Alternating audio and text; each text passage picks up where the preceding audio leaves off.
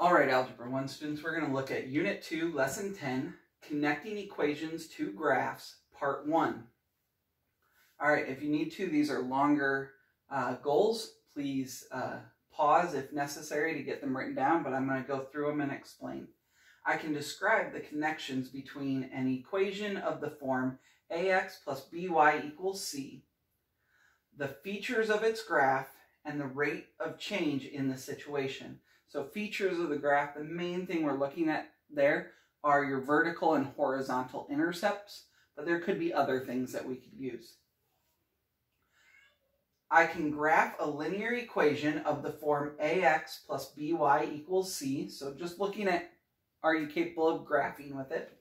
And I understand that rewriting the equation for a line in different forms can make it easier to find certain kinds of information about the relationship and about the graph. Just by rearranging the problem, we can find the horizontal or the vertical intercept a little bit easier or other things.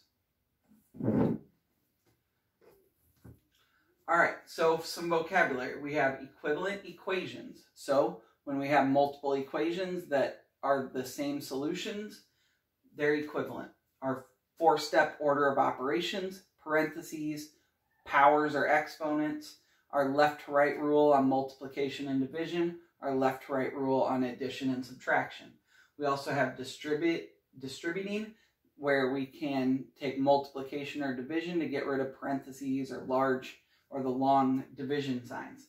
Our balance rule, anything we do to one side, we have to do to the other to keep everything balanced. Our new thing here is rate of change. This is something that you should have started learning about in middle school the amount of vertical change, up and down change, for every one unit of horizontal change going to the right. So if I move to the right, does my line go up or down and how much does it go?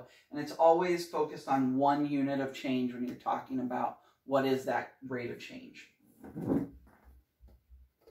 All right, so here's the situation. You're going to try and figure this out and then bring your answers to class tomorrow and then that will start our discussion.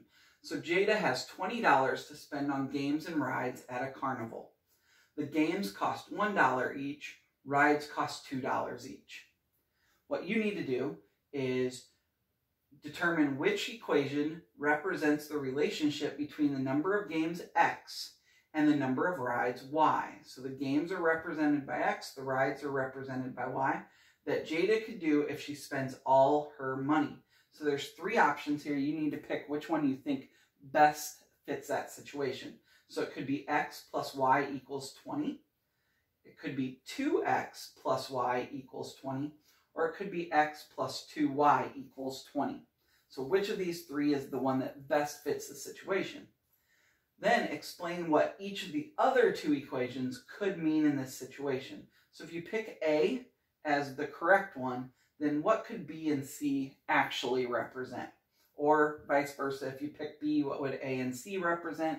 Or if you pick C, what would A and B possibly represent?